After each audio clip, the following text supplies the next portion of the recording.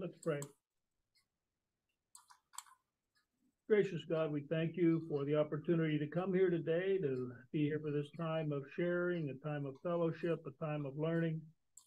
We thank you for the beautiful weather we have today, the mild temperatures, the reminders that fall is on its way. We look forward to the coloring of the leaves and that beauty of fall that comes before the darkness and coldness of winter, but we also remember through that season that spring is around the corner, that cycle of life that reminds us of the newness and the renewed life that you have in store for us. We pray that you be with those who we've mentioned with Charlie and Gitta and Mary and Jan and Rosemarie and for Neva. Lord, you know their needs and concerns better than we do, and we pray that they would find the help they need, and if, if we can be of help to them, we ask that you show us how for people in the Ukraine and other places ravaged by war and violence, Lord, we pray that you would bring peace. For those who are suffering from natural disasters and man made disasters, we pray that you would bring them healing in their lives as well. And again, if we can be of help, show us how. We ask that you be with us today as we study your word. Help us to take this word into our hearts, into our lives. Help us to understand how this word speaks to us so we might speak the word of your gospel to others. In Jesus' name we pray. Amen. Okay.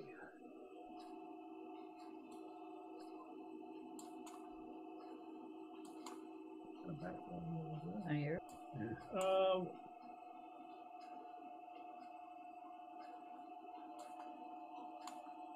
we got rid of that.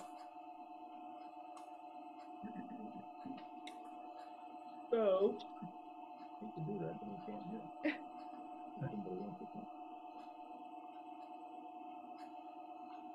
come. Um, so we have a, another parable this week from Matthew's Gospel. Um, we actually skipped the whole 19th chapter of Matthew's Gospel. And uh, so we're going to take a look at that 19th chapter. There's some stuff there that I think is helpful in understanding our current chapter. Call from Pastor And uh, you guys can still hear me, right? Yeah, I muted it on the, on my end. So, Larry just waved at you. okay. Well, maybe because I waved. I don't know if you could hear me or because I waved. Uh, anyhow. Yes, Um, I don't know. Technology. All I can find right now, Oh, we can hear you, Charlie. Can you hear us? no. I don't know why. Can you mute your mic, please? No. If I say anything, I don't hear anything. Well, we can hear you. Come on, I said, can you hear us? He said no. I I know. want to do it on my phone. No, I don't. I want to see this right here. Well, I'm gonna mute all You that couldn't stuff. hear anything on Sunday. Um, You never got that fixed. So yeah, so there's some stuff in the nineteenth chapter that's gonna help us understand what's going on here in chapter twenty. Um, this is another parable, another kingdom parable, and we're gonna talk a little bit about how, uh, you know, the, the kingdom parables and, and what Jesus is, is telling us in a sense when he talks about uh, what the kingdom of heaven is like. Um, so he's not necessarily telling us what we should be like, though it's a good example. Um, but the kingdom of heaven, he often points out, is quite different uh, from our world here on earth. And so that's uh, how when he talks about these kingdom parables is part of what he's teaching us. So this is Matthew 20, uh, 1 through 16. Jesus tells a I parable about God's Get it to do anything. Challenging the common assumption that God rewards people according to what they have earned. Or Oh, you got the. Bible study. Jesus said to the Yeah, disciples, right down in here. There's, Yeah. "The kingdom What of does it heaven is say like down there? landowner who went out Well, early you in just moved, so now it stopped. for his vineyard. Failed After to detect your agreeing with the speaker. Make sure your usual speaker's daily properly. He sent them Something. into his vineyard. all When he right. went out Well, nine o'clock, he saw others standing idle in the marketplace, and he said to them, You also go into the vineyard, Speakers. and I will First pay one you up there. whatever is right. Yeah. So they Yeah. went. We'll put it on When he speaker. went out again about noon, and about three o'clock That's he him. did the same. And about five o'clock he went out and found others standing around, and he said to them, Why are you standing here idle all day? They said to him, Because no one has hired us. He said to them, You also go into the vineyard. It says live performance Speaking audio came, the off. owner of the vineyard What said to does it his mean? manager, Call the Some laborers and cannot give them their pay update. beginning with the last and then going to the first.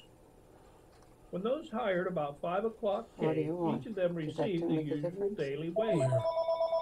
Now, when it came, when the first came, they Yes. thought they would receive more. Charlie, give me the phone.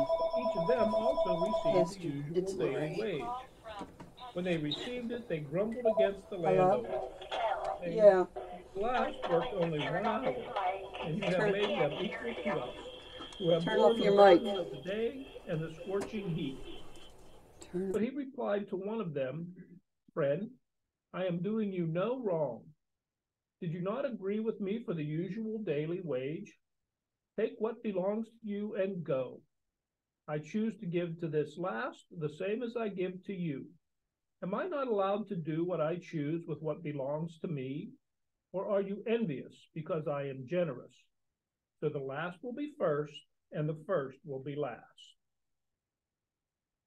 So, um, you know, not uh, not a very agreeable lesson as far as our ideas of getting what you earn and getting what you deserve and um, all those sorts of things that we're used to. But it is again a lesson about the kingdom of heaven and how uh, the kingdom of heaven is different than our earthly kingdom. And so part of that is, you know, getting what we deserve isn't really how the kingdom of heaven works. Um, in fact, that's what grace is all about is um, a gift that we don't deserve. It's a, it's be, a gift of grace is being given something that you don't really deserve. Um, it's not something you earn, not something you work for. Um, so that's what grace is all about. So this is really a parable about grace in the kingdom of heaven. Um, in chapter 19, um, if you recall, the last two weeks we had lessons about reconciliation and forgiveness. And it was about, you know, um, take two or more with you, try and reconcile a relationship with a brother or sister within the church. Peter wants to know how many times he should forgive. Jesus says, unlimited times you must forgive. And then in chapter 19, there are some more specific teaching. There's the teaching about divorce, and that's where, um, you know, they come and ask Jesus, um, you know, is it to test him? Is it lawful for a man to divorce his wife? And uh, for any case or for any cause. And again, we need to remember they're not coming to get an answer that they really want. They're coming to test Jesus.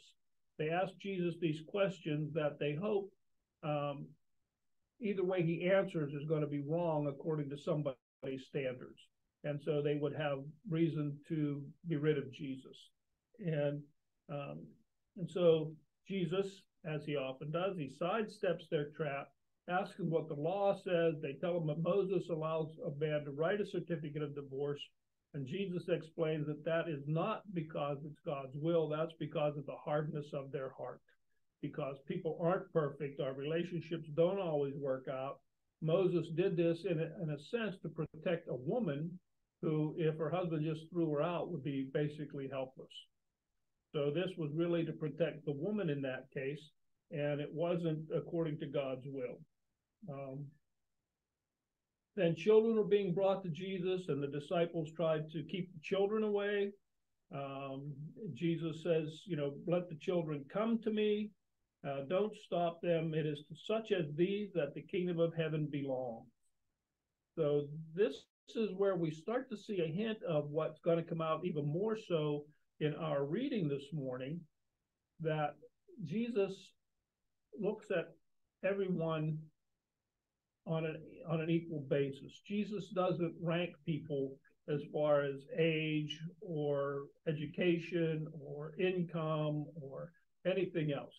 Jesus, you know, these children belong to the kingdom of heaven just like adults belong to the kingdom of heaven. Jesus sees everyone equally. Jesus loves us all the same. Um, and then where we really start to see a relationship to today is um, the rich young man is a story that we're, we're fairly familiar with. He comes to Jesus, wants to know what he must do to inherit eternal life. Jesus says, keep the commandments. And um, he says, well, I did all that. And then Jesus says, well, now if you want to be perfect, you must sell everything you have, give the money to the poor, and then come and follow me. And he went away grieving, for he had many possessions. So, you know, Jesus again is telling him, you have to be willing to give up your earthly stuff in order to follow Jesus, in order to get into that, that heavenly kingdom. He tells the disciples how it's hard for a, a rich man to get into the kingdom of heaven. Uh, the disciples can't figure out then who could be saved because, of course, it was seen in those days that if one was wealthy, it was because of God's blessing and you were receiving God's favor because you were wealthy. And so if the wealthy can't get into heaven, who can? And Jesus says, you know, for man it is impossible, but for God all things are possible. So he's again, we're seeing this reversal. It's not working our way in. It's not what you have. It's not your wealth uh, that has to do with your salvation. But Peter, again, you know, sometimes he just don't get it. He says, "Well, we've left everything and follow you. What will we have?" You know, first Jesus is saying, you know, you well, all your this stuff doesn't matter, and he says, "Well, look at. Look how good we are. Look at the wonderful thing we've done." And you know, Jesus goes on to say, then uh, many who are first will be last, and the last will be first. And then that's the same line that this our this week's lesson ends with. Uh, the last will be first, and the first will be last.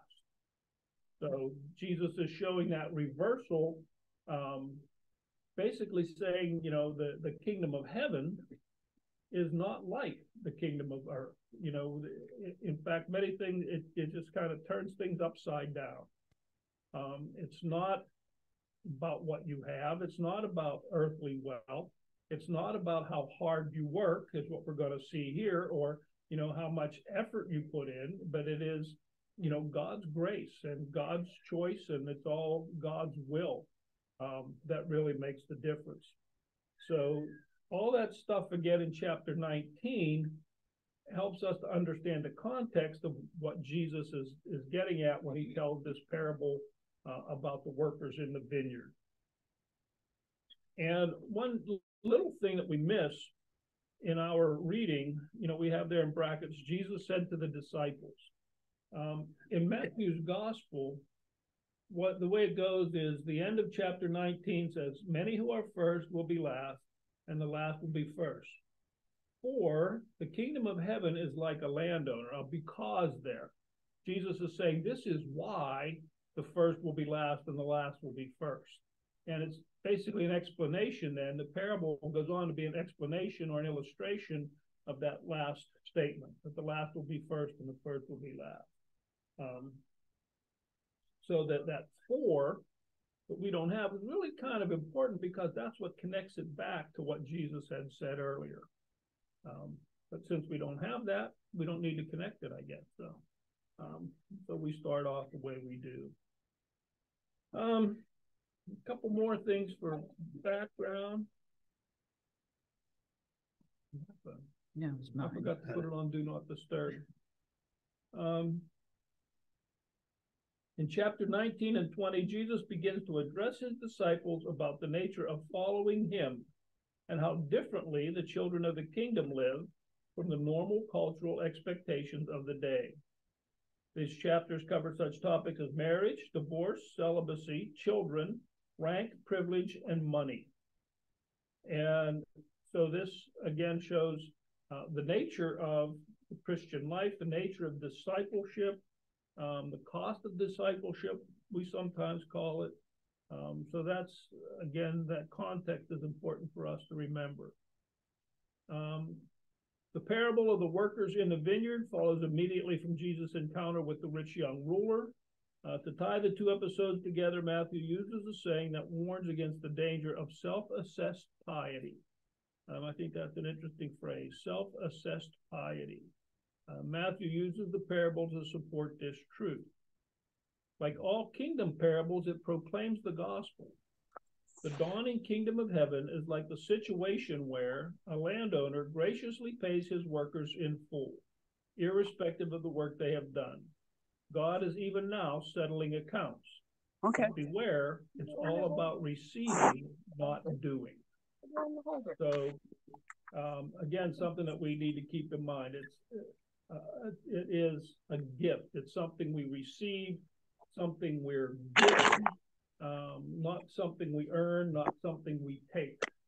Um, so that's important for us to remember. Mm.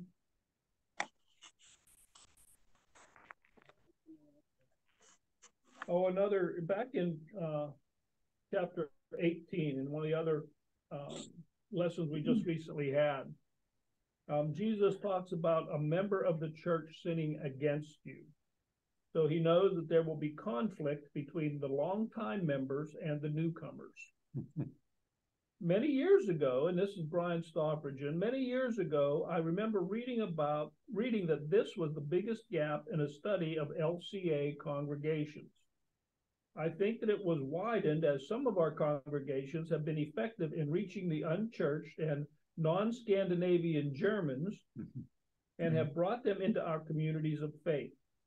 Some of our newer members don't even know what lutefisk is, and they should be thankful for that, he says. But the long timers sometimes resent all those new people coming and taking over and changing my church.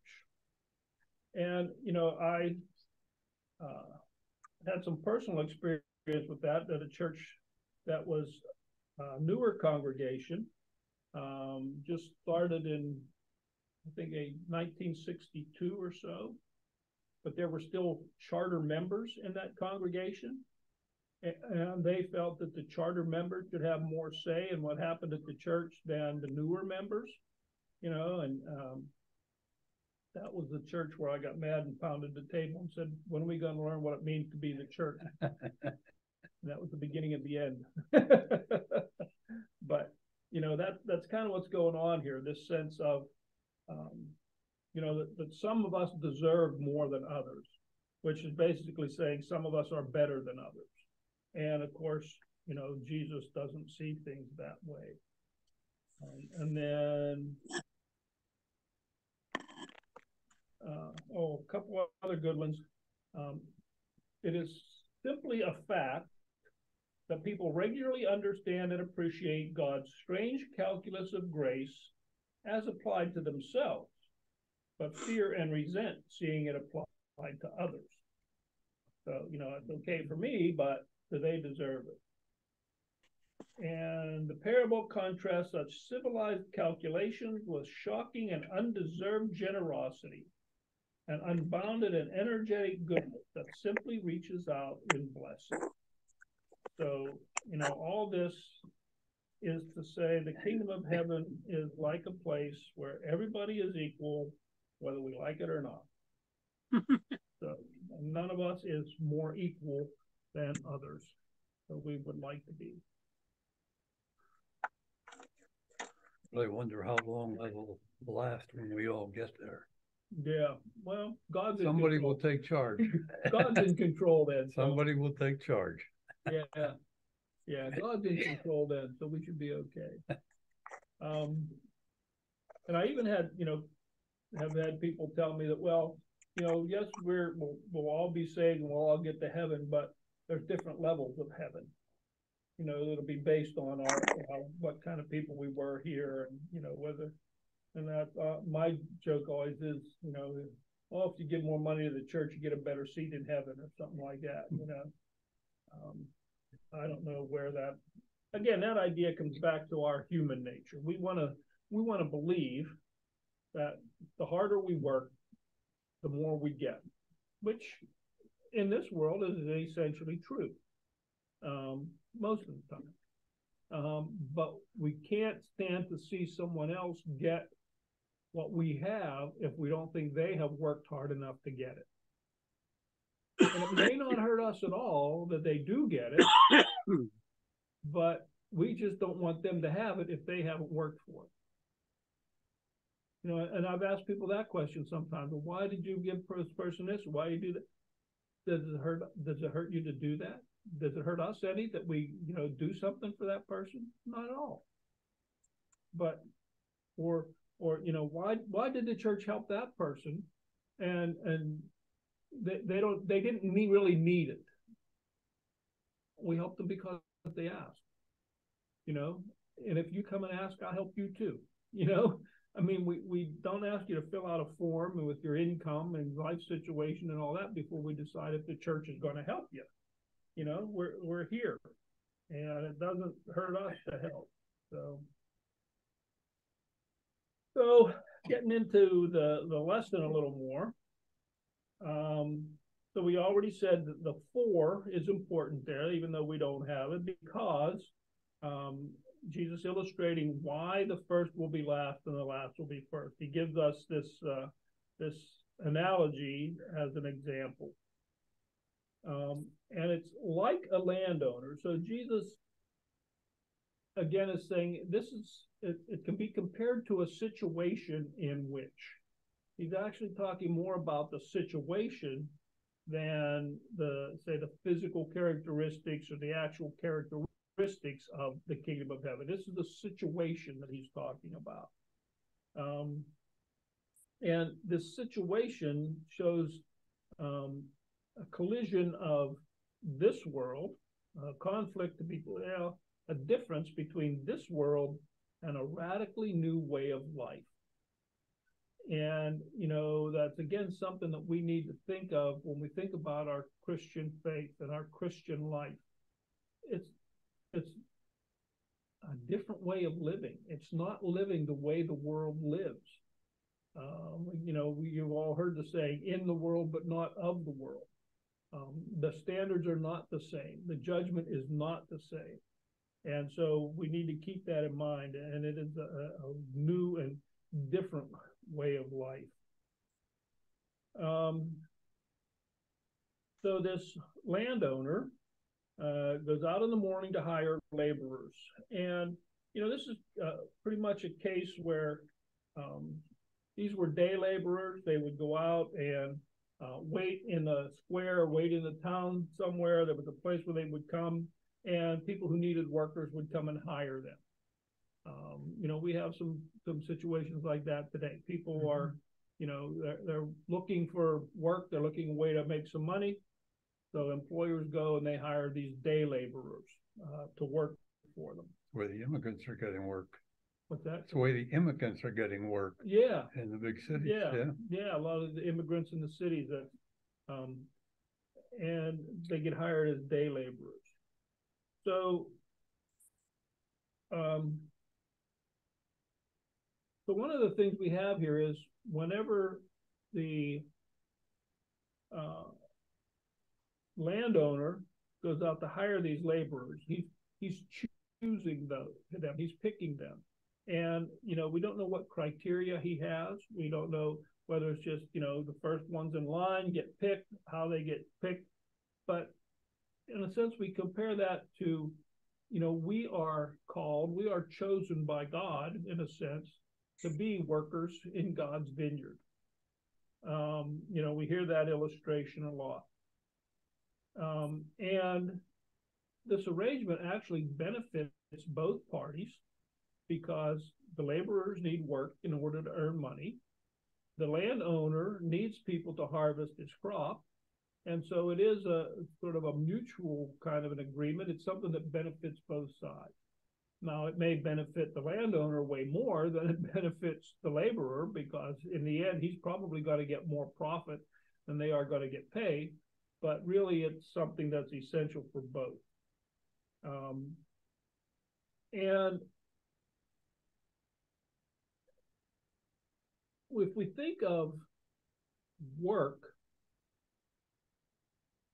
not as a burden or a responsibility so much as it is a gift, an opportunity. We have an opportunity to be workers in God's vineyard. We have a chance to uh, to build up the body of Christ. And you know the the Jewish people when they were given the Ten Commandments, they didn't see the Ten Commandments as burdens to bear. They saw it as a, a blessing because now they had guidelines. Now they know what God wants. And so, you know, it was actually, even though they and we, of course, don't keep those commandments like we should or would even sometimes like to, um, but yet we have those guidelines. It's a blessing. And it's the same with work. You know, when, when Adam and Eve were kicked out of the Garden of Eden, um, they were given work and it was still caring for God's creation. They were still uh, had that opportunity to work for God. You know, God could have just done away with them and started over, but yet He gave them this opportunity to remain and to work in God's vineyard. Um, and but see, that raises the question: uh, Does God need us to work? Uh, that seems be a theme in Matthew where Jesus says, The harvest is plentiful, the laborers are few. Ask the Lord of the harvest to send out laborers. Um, perhaps our great emphasis against works righteousness, which is centered on getting what one deserves, um, like the rich young man who said, What do I have to do to get eternal life? Um, it's kept us from seeing the importance and necessity of good works, which is centered on responding to God's grace you are saved, what are you going to do? So it's, you know, as, as someone told me early in my career, it's not an if then, it's a because therefore. It's not if you do good works, you will be saved. It's because you have been saved, therefore we do good works. It's a response. It's not uh, an, uh, something we do to earn that gift. It's a response to God's gift of grace. So you know, again, you know, I look at ideally our children would do good things for us because we love our children and they love us, not simply because we force them to do it. And you know, you know, you know, when you you force them to say I'm sorry, well, they don't mean it. You know, it just probably makes them angrier. But you know, it's often when they, especially when they get older, they think they'll come and apologize on their own because they realize that they've done something that hurts someone they love. And, you know, so it's the same on us and God. We don't do it because God says we have to. We do it because God loves us and we love God. And so we do what pleases God.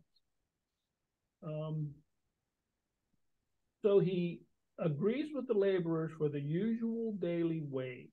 And uh, the usual daily wage was one denarius, uh, one denarius was assumed to be enough to buy what that person and their family would need to survive through one day.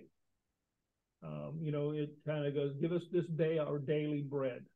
Uh, that one denarius was their daily bread. It was the one what they needed to live for one day. So that was the daily wage. Um, so, you know, it wasn't enough to get ahead. It wasn't a, you know, basically they were going to spend tomorrow what they earned today. Um, so that was um, what uh, early in the morning. That was like 6 a.m. Then at 9 a.m., he sees others standing idle and he sends them out into the vineyard. But this time he says, I will pay you whatever is right. He doesn't specify an amount. He doesn't say, I will pay you three fourths of the daily wage or whatever the percentage would be. You know, he just says, I will pay you what is right. Um, and, you know, this is a case where our idea of what is right and God's idea of what is right may not be the same. Um, comes back to that statement about, you know, God's calculus is okay for us, but not for others you know, it, it's what's right for me is God's grace and salvation and all that good stuff. What's right for you is, well, you need to suffer and be punished because you're, you know, you, you don't get what I got because I'm better than you or whatever. So it just, you know, whatever is right kind of leaves it really open ended.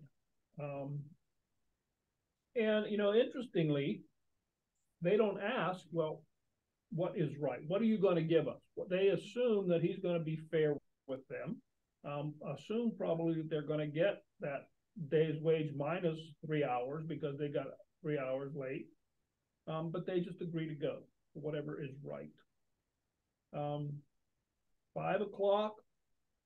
Well, what goes out at noon, he goes out at three o'clock, he goes out at five o'clock, and each time he hires more workers, sends them out in the field, and does the same.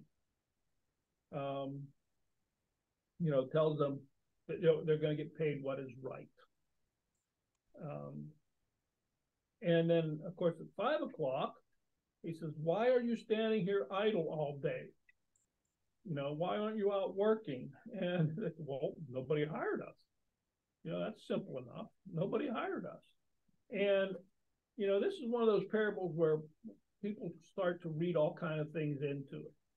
You know, well, maybe those who were still there at five o'clock didn't really want to work. And maybe they were hiding whenever he came to hire the early ones. And, you know, maybe they were just lazy and so they didn't want a job. And, you know, the, the you know the ones that were hired at nine o'clock were lazy and slept in. You know, they come up with all these uh, things, and and we got to remember that's not part of the story. All the story says is they were hired later. You know that, and and of course, if we relate this to the church, you know, it comes back to that story I told about the charter members, right? Well, why do why should those new members get the same thing we got when we were with this church from the very beginning and did all this stuff to to get it, you know, to make it happen? What's the old story of the military? Rank has its privilege. Yeah, yeah, but yeah, rank doesn't just come by t- time put in, though. I mean, but this comes back again to the difference between the kingdom of heaven and our world. In the kingdom of heaven, it's not based on merits and effort and all that stuff. It's based on God's grace. In other words, God was the original union organizer. Right. yeah. You know, and I was thinking about that in relation, you know, we have the, the big auto workers strike going on now. and one of their things they're fighting against is is this idea of tiers, where workers hired you know later don't get paid as much as workers that were hired earlier, even though they're all they're doing the same job. And they want to eliminate that and say, well, if you get hired yesterday and I got hired five years ago, but we're doing the same job, we should get the same pay. Experience is worth a little more money. Well, in in the auto business, yeah. but and there again, it depends on what you're doing on that assembly line. You know, it may be a job where you can walk in off the street and within 10 minutes be able to do that job. And, you know, so the experience really doesn't make that much difference. And that's one of the things they're fighting against. And so that would, you know, this parable would fit in with them pretty well. You know, that, that although, then again, what, well, they're, they're all doing the same type of work. It's just how long they've been doing it.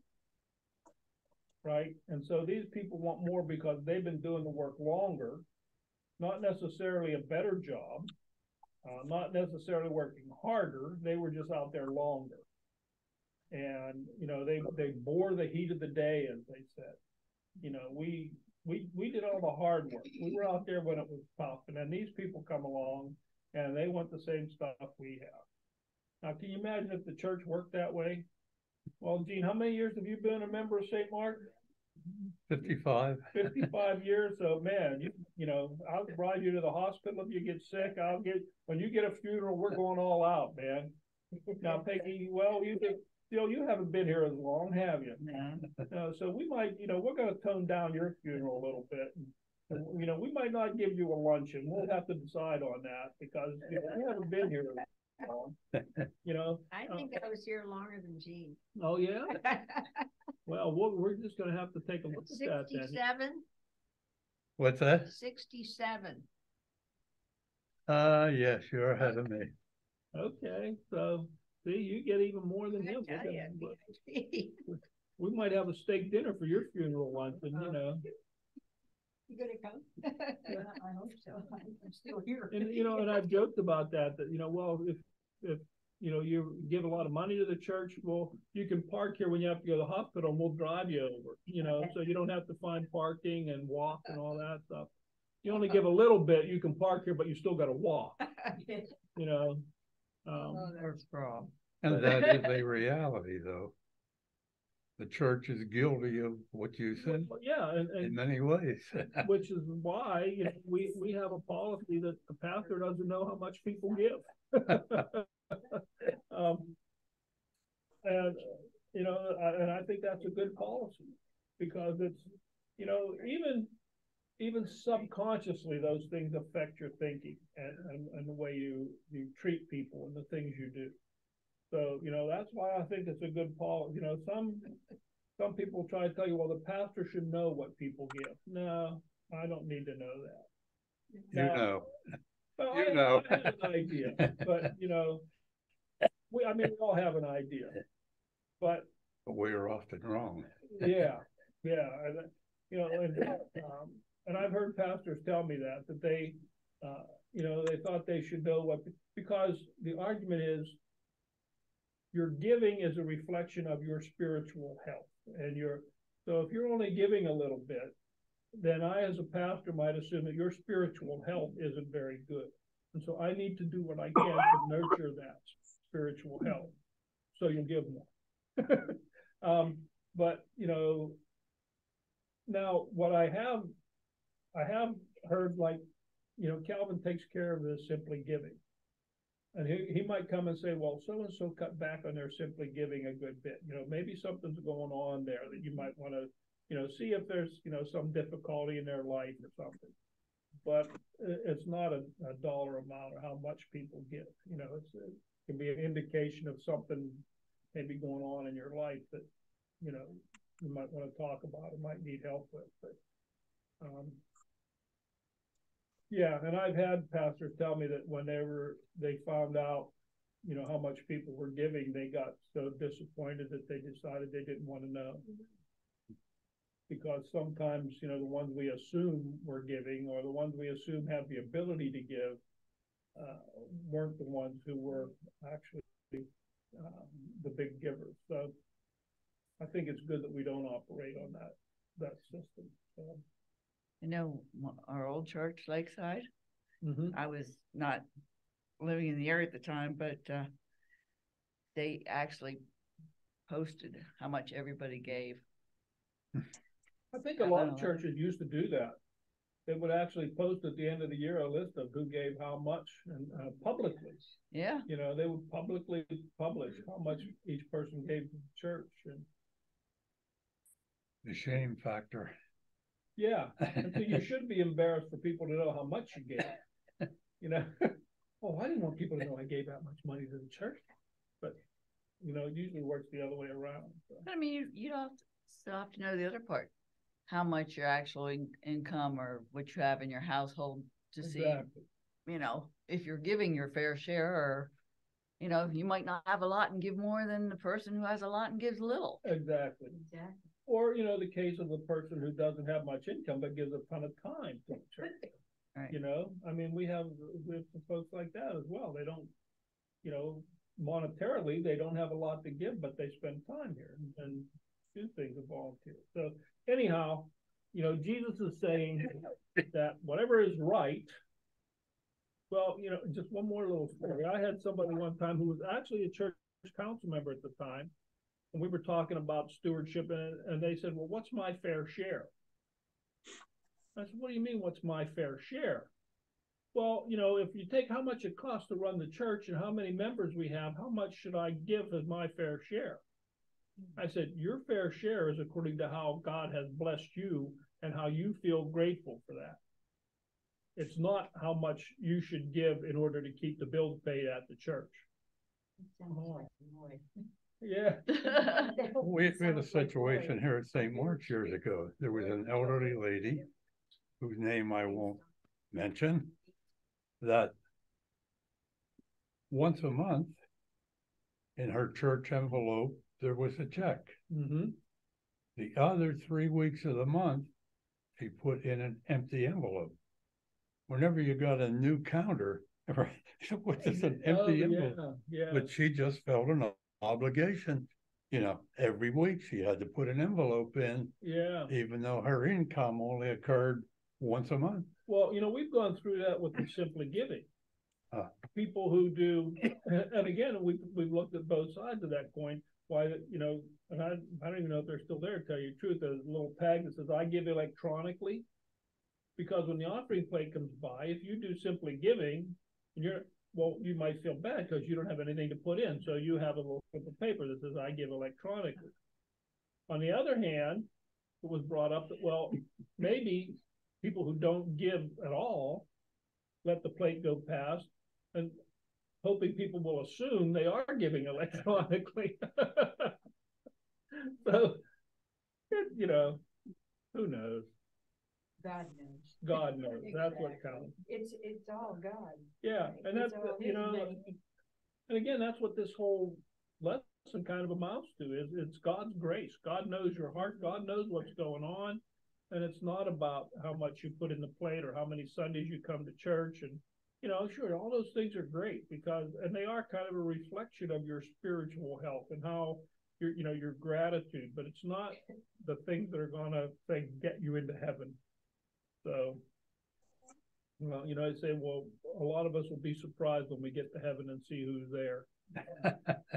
or if we don't get to heaven and see who is and see who, who got there instead of us.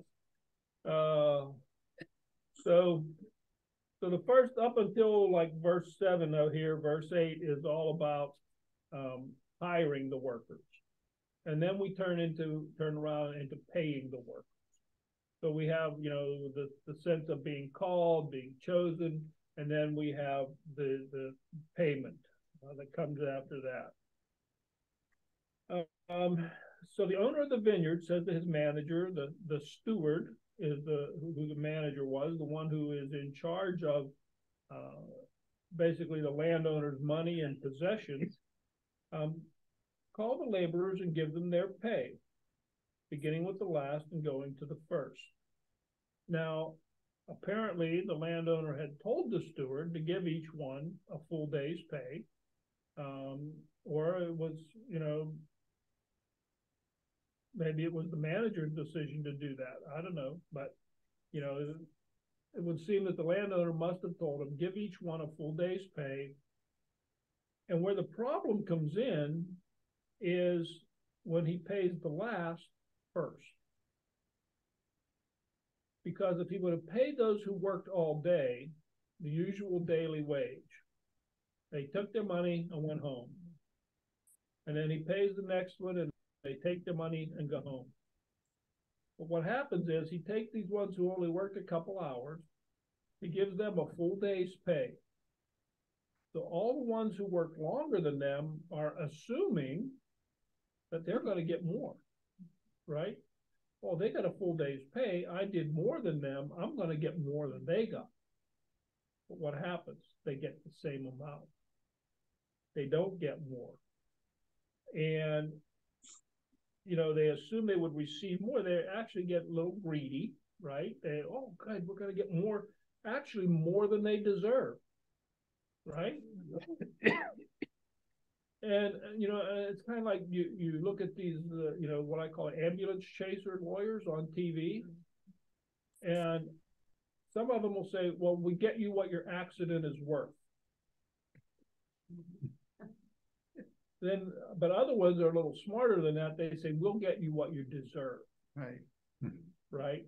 So it's not like we're, oh, we're not taking advantage of anybody. We're just going to get you, you know, what you deserve. Where to say what your accident is worth kind of puts a different light on it, you know? And then, of course, they take what, 40% of whatever they get you anyway. So, um, you know, that's why they, oh, anyhow. they assume they're gonna get more. And, uh, and getting more than what they agreed to work for. You know, I agreed to work for one denarius. And so that's what I should expect. No matter what everybody else gets, this is, this is what my contract said. I get one denarius to work today. But, you know, because the others got that amount, I should get more. Um, and they grumbled against the landowner. Now, our first reading this week is from Jonah. And we only have the first half of Jonah's story, where he gets swallowed by the big fish, gets spit up on the land, and he goes to Nineveh, he says, repent, and the people do, right? The second half of Jonah's story is the part I like. Because after the people repent, Jonah goes out and sits on a hill and pouts and says, God, that's why I didn't want to tell them that, because I knew they'd listen and you would forgive them. And you know what? I didn't want them to be forgiven. They don't deserve to, and that's why I didn't want to tell them that. You know, and God makes Jonah sitting there in the hot sun. God makes a tree. Jonah's all happy. God gives me shade. God takes the tree away. Jonah gets mad. God says, "Oh, it was great when I gave you the tree. If I put it there, can't I take it away?" You know, and and, and God says, "Well, is it right for you to be angry?" And Joe, yeah, angry enough to die. You know, Once the union wins an award, you can't take it away. yeah, but you know, so so this is kind of the same thing. You know, they're they're angry because somebody else got what they had. You know, and and that was Jonah. I'm angry because I didn't they didn't deserve to be forgiven, and you forgave me. You know, so these people get angry, and and and that that phrase there, you, you made them equal to us. And that therein lies the rub. that you made them equal to us. And it's the whole civil rights movement in a nutshell. You made them equal to us. And we don't want them to be equal to us. Um, Stoffregen, let's see what Stoffregen has to say. Uh, Robert Smith has this wonderful summary. It's simply, oh, that's what I already read you. Um, people understand and appreciate God's calculus as applied to themselves, but not to others. And the parable of the unforgiving servant that we had last week suggested a great appreciation for God forgiving all of my sins, but a desire that God and I should punish all those who sinned against me. You know, and again the lord's prayer. Forgive me as as i forgive them. Well you know good luck. And that's why matthew throws that thing in at the end. Well if you don't forgive them god won't forgive you. You know matthew's kind of big on that. So um so you you made them equal to us. And you know that is really where the issue comes in they should not be equal. We're better than them. They should not have what we have. We worked harder. We worked longer. We've been members of the church longer. I put more money in the plate. I should get more than they have. And, you know, when you think about the idea that God gave, Jesus gave all that he could possibly give, he gave his life. He gave all that he could possibly give. God loves us beyond anything we can imagine. How could any of us think we get more or less than others? If I give you everything I have, and I give Judy everything I have, I take everything I have and I split it evenly between Jean and Judy. You know, they can't, I have nothing left to give. How could either of them want more? But if we're all equal, why should I strive to be any better? Because, well, what, what do you mean by better? A better performer? Maybe more money? Okay, eh. there you're coming back to the kingdom of this world. Yep. And in the kingdom of this world, we have, I think, a responsibility to live up to the talents, the, the gifts that God has given us.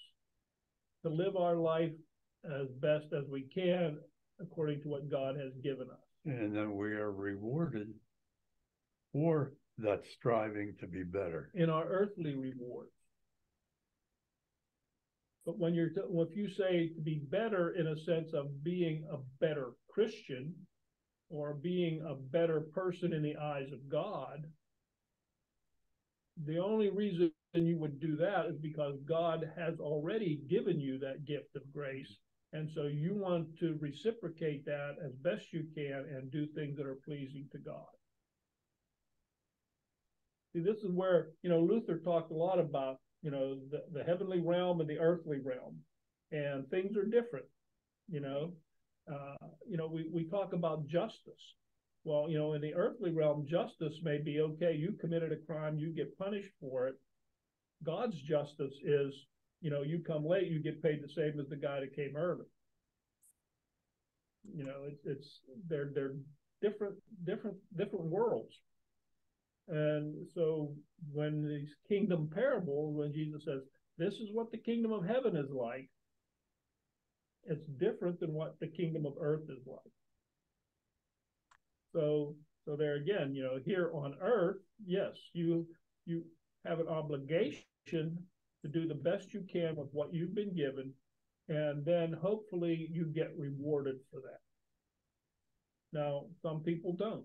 Some people, you know, work hard here on earth, and some people devote their life to a job or, you know, something like that, and they never get what they deserve. Where other people, because they're related to the boss, get the promotion that belongs to the person who worked hard, but you know, so again, that's the earthly realm. Um, Jesus says in the kingdom of heaven, this is what it's like. So, uh, yeah, we we do, and you know, even to say we do better as in a better Christian, because we want to thank God for what God has already done, not because I want to earn, you know, a, a bigger gold mansion when I get to the heavenly kingdom. So, um, so that's that's the difference. Um, and you know the the landowner or the manager, whoever they're talking to here, yeah, they grumbled against the landowner, and the landowner says to them, "I didn't do you anything. I didn't do anything wrong. I gave you what I told you I would give you. Right? I kept my word. I told you you were going to get a day's pay. I gave you a day's pay. Um, just you know, take what belongs to you and go. I don't want to hear it. um, and, and you know, maybe there's just a, a thing here too. It's not what they deserved, but what they agreed to. you know, they, they again their their contract, right? Their contract was this is what I I'll get, and now they want more. Um, and the word choose here, where it says, take what you belongs to you and go, I choose to give to this last, is actually the same word that is uh, in the Lord's Prayer, your will be done. Your will, what you choose, what God would choose. So what I what my will is, what I will to give to this last. And so again, we come back to this sense of God's will is up to God it's God, you know, God's grace is part of that. Um, and again, you know, I do what I choose. I do what my will is, and you know, with what belongs to me. And uh, and um, so it's not a matter of, you know, we we can't tell God what to do with God's love, God's salvation, God's resources you know, who are we? You know, Job got into that argument with God where, you know, Job finally, after a while, started to complain to God. And God says, Who are you to complain to me? Where were you when I created the world? Where were you when I did this? You know, who, who are you to complain to me? you know, and Job finally realized, oh yeah, I guess you're right, you know? Um, so it's that same sort of situation. Um, are you envious because I am good? Um, and actually the generous, it says, are you envious because I'm generous, which could also be translated as good. Um, he wasn't really all that generous, especially to the ones who were hired early in the day, because they only got what anybody else would have given them. Was a day. He was generous to the ones who came later, maybe, um, but still the ones who came who hired at the beginning of the day, they only got you know if if anybody else would have hired them, they would have given them the same amount. So. Um, a little bit different there. Good, we think of, of good as God is good. And are we, do we get angry? Do we get upset because God is good? And, you know, God being good, again, extends grace to everyone. And, you know, God extends grace to the bum on the street the same as he extends grace to the pastor in the pulpit, you know? Um, so, uh, can we be angry about that? You know um and i think in a sense you know we, we shouldn't be angry but we have that reaction. We're, we're like jonah. We want to see certain people get punished. And we want to see certain people burn in hell because we think that's what they deserve you know? But you know god's the one who's going to decide that. And god's the one who will be the judge of that um, and then he comes back to, you know, the last will be first and the first will be last. It's not going to be what we expect.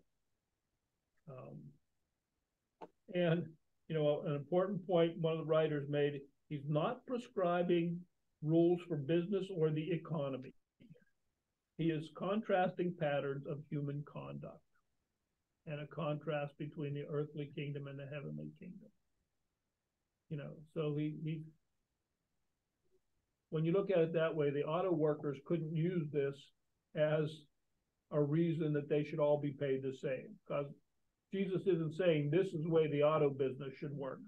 Jesus is saying this is what the kingdom of heaven is like. So on earth, experience might make a difference.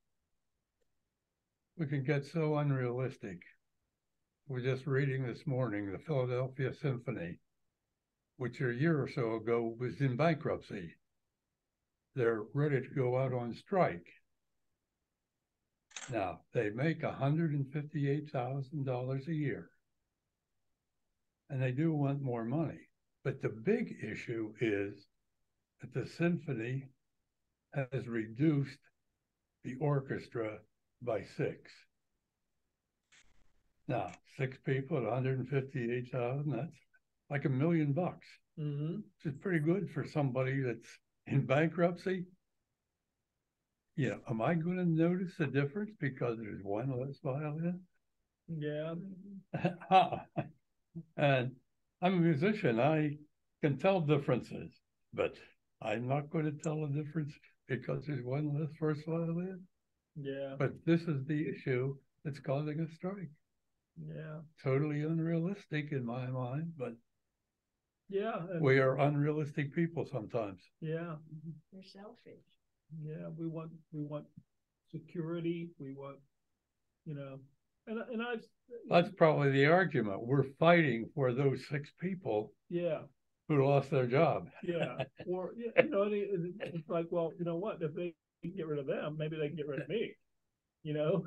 Six this Um, year, six next year. You're right. Yeah, I have a Um, pro, I have a problem with that hostage situation.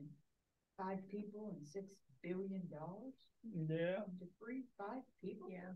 yeah. But if you were one of those five, wouldn't you think it was worth it? I'd stay where I was and keep my mouth shut. See, that's that's always too the way we need to look at it. You know, what what what's a person worth? What's a life worth? Well, it's the story of those people because they are a violinist with the Philadelphia Orchestra making a hundred and fifty-eight thousand. They're probably working twice that much giving lessons Oh, yeah, because of their reputation. yeah. Uh, Yeah. I shouldn't complain. I was once a member of the Uh, musicians union. yeah. Uh, you know, and I was, you know, union member when I was working, I said it. It's like anything else. It has a purpose, but it can be abused. Yeah. And, you know, yeah, unions fought and still fight, for, you know, for rights and benefits and things that, you know, workers should have. But on the other hand, when the- you abuse that, and like you say, I want, you know, an outrageous amount of money, or I want something that's unrealistic, well, then they need to learn how to find a balance. But they are being considerate because the orchestra is scheduled for a tour through the South. Mhm. And because of that, they're going to go on tour and not go on strike. Oh, that's nice of them. Yeah, I think so. Yeah. That's nice of them. But they won't lose any of their hundred and fifty-eight thousand. You got it. Well, any other thoughts, uh, ideas? This world is not our home, we're just passing through. There you go. And thank God for that. That's what my great, my grandmother used to, say. this world is not our home, we're just passing through. Yeah. Now, let's close with the Lord's Prayer. Our Father, who art in heaven, hallowed be thy name. Thy kingdom come, and thy will be done, on earth as it is in heaven. Give us this day our daily bread, and forgive us our trespasses, as we forgive those who trespass against us. And lead us not into temptation, but deliver us from evil. For thine is the kingdom, and the power, and the glory, forever and ever. Amen. So long, folks.